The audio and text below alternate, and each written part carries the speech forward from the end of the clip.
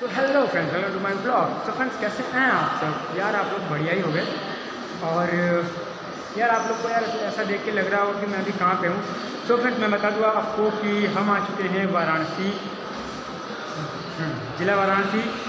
यहाँ पे वाराणसी में हम लोग हैं अभी टॉयलेट के अंदर। आई मीन कि ये आप देख सकते हो कि यहाँ में टॉयलेट करना है। तो सबसे पहले फ्रेंड्स मैं बता दूँ कि मैं वाराणसी नहीं हूँ। मरवाडी का नाम सुना है आपका? नहीं।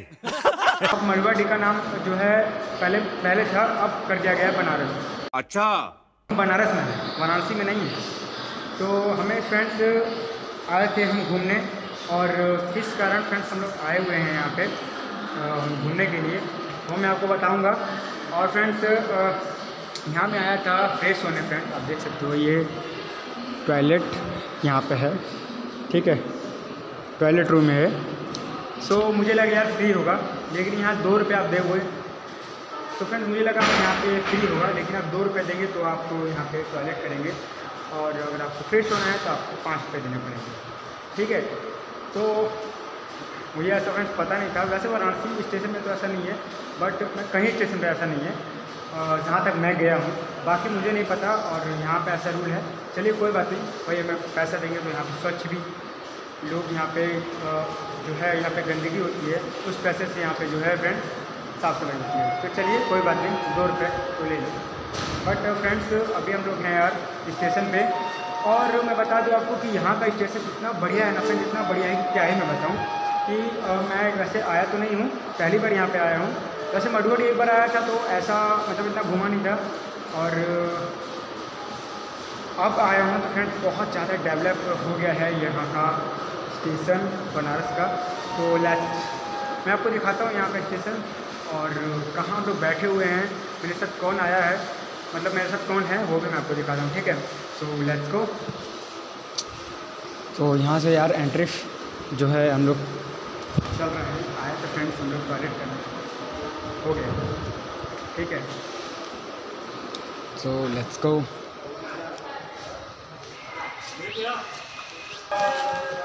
तो फ्रेंड्स बाहर निकलने के बाद हम लोग यार आ चुके हैं प्लेटफॉर्म नंबर एट पे ही। यहाँ पे सब कुछ है और हमारे सामने यहाँ की ट्रेन खड़ी हुई है। बनारस न्यू दिल्ली के लिए। ठीक है। और एट्स यार यहाँ पे एक सिस्टम मैंने देखा कि पेड एसी वेटिंग हॉल है। यहाँ पे आप दस रुपये देंगे एडल्ट का और अगर आपके साथ बच्चा है तो पाँच रुपये देंगे पर आवर आप एसी में बैठ सकते हो ठीक है? सो so, यहाँ पे यार देख सकते हो यार जितने भी बनारस में टेम्पल्स हैं उनकी जो है पिक्चर लगी हुई है इस स्टेशन पे यहाँ पे। मतलब जितने भी यार घूमने के जगह हैं विजिटिंग प्लेस हैं ये वहाँ पे लगी हुई ठीक है? सो यार काफ़ी अच्छा है स्टेशन यहाँ का। और यार घूमने तो मज़ा आता ही है। बाकी यार यहाँ पे देख सकते हो फ्रेंड्स इतनी शांति है। ज़्यादा तो बंदे नहीं हैं वैसे ट्रेन आती है। तो ज़्यादा बंदे हो जाते हैं। ठीक है तो ये है फ्रेंड्स वेटिंग हॉल। इतना बड़ा वेटिंग हॉल है फ्रेंड्स।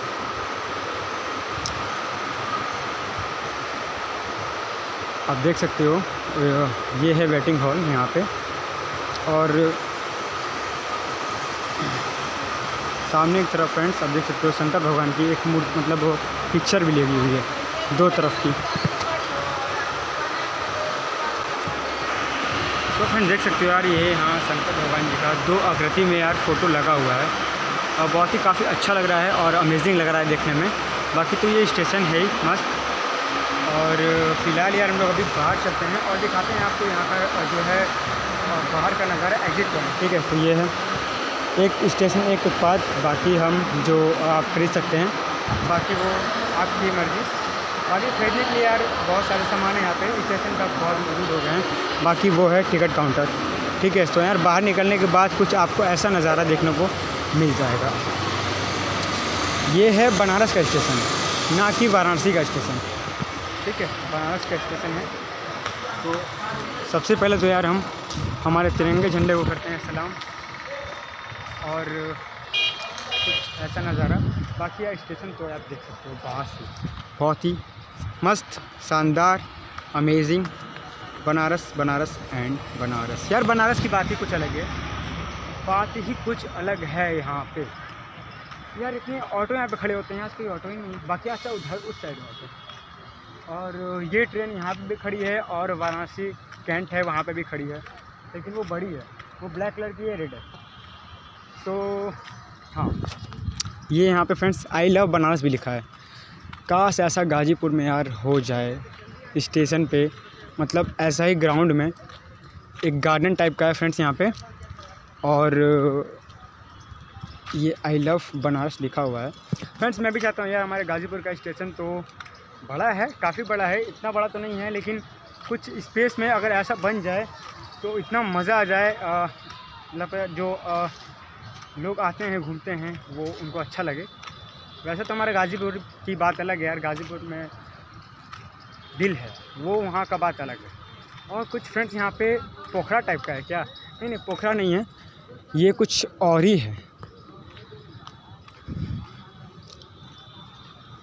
सही बताया फ्रेंड्स तो हम लोग कहीं जा रहे हैं, वो आपको पता चल जाएगा कि हम लोग कहाँ जा रहे हैं। वो उसका भी ब्लॉग मैं आपको अपडेट देता रहूँगा ब्लॉग का। एंड हाँ ये पोखरा है फ्रेंड्स। पोखरा है आई I मीन mean, कैसा? ये मस्त लग रहा है यार। मतलब रात के टाइम हमको लगता है फ्रेंड्स यहाँ पे जो है फवारा निकलता होगा यार मस्त अच्छे से। बाकी यहाँ पेड़ पौधे तो यार अच्छे से लगे रहे हैं। सो so, जैसे कि मैंने बताया फ्रेंड्स हम लोग कहीं जा रहे हैं और वहाँ का अपडेट मैं आपको दूँगा। बाकी यार मैंने सोचा तो नहीं था यहाँ का व्लॉग बनाने का बट क्या करें फ्रेंड्स? हम निकले गाजीपुर से छः, साढ़े छः बजे की ट्रेन थी और पैसेंजर थी बनारस के लिए। बलिया से चल के जाती है क्या नाम है, वहाँ पे? प्रयागराज। प्रयागराज जाती है तो वहाँ पे हम लोग, यार, हम लोग बैठे थे। फिर हम लोग यहाँ पे उतरे दस बजे करीब। दस बजे हम लोग यहाँ पे आए और अभी हम लोग ट्रेन का इंतज़ार कर रहे हैं। काशी विश्वनाथ ट्रेन, जो कि यहाँ से निकलती है डेढ़ बजे करीब। तो वहाँ पे हम लोग उसी पे बैठेंगे। क्या हुआ भाई? क्या हुआ? कड़ा? कोई नहीं पहना है। तुम पहनोगे क्या? पहनोगे? भाई बंदा मेरा कड़ा देख के ही अच्छा लगा। चलो कोई बात थैंक यू ब्रो उसको मेरा कड़ा अच्छा लगा। सो so, यार टिकट ग्यारह अभी टिकट काउंटर में मैं गया था बट टिकट अभी मिल नहीं रहा है। ग्यारह बजे के बाद ही टिकट मिलेगा काशी विश्वनाथ का। तो यार हम लोग फिर टिकट लेंगे। उसके बाद जो है डेढ़ बजे गाड़ी आएगी। यहाँ लगेगी। हम लोग बैठेंगे। उसके बाद चल देंगे। ठीक है। इतना तो मैं मतलब तीन महीने से जितना फ्रेंड्स बता दूँ मैं आपको कि वीडियो नहीं आ पा रही थी। यार गमछा तो यार गमछा लेना ज़रूरी है हमारी गमछा देश की छान शान है यूपी बिहार की शान है गमछा। हर जगह जाओ गमछा पहन के जाओ पता चल जाएगा भाई हम लोग यूपी वाले हैं और ख़ास करके गाज़ीपुर वाले हैं। सो so, मैं बता रहा था आपको फ्रेंड्स तीन महीने या चार महीने बाद मैं वीडियो लेके आया था जन्माष्टमी का और अभी मैं लेके आया हूँ तो काफ़ी मुझे लगता है कि जब मैं छोड़ देता हूँ ना यार ब्लॉग करना तो कुछ आवाज़ में भी बहुत सारे डिफरेंस हो जाते हैं। बोलने में भी अजीब सा लगता है।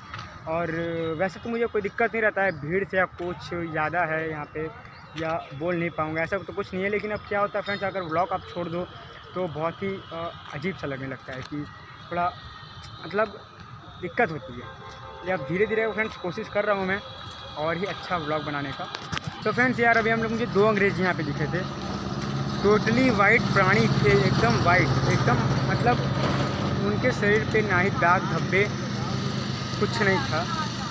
सोचा यार मैंने आ, मैं मैंने सोचा कि यार उनसे बात करूँ वो अंदर ही बैठे थे तो तब तक मैं वहाँ से आया तब तक वो लोग जा चुके थे।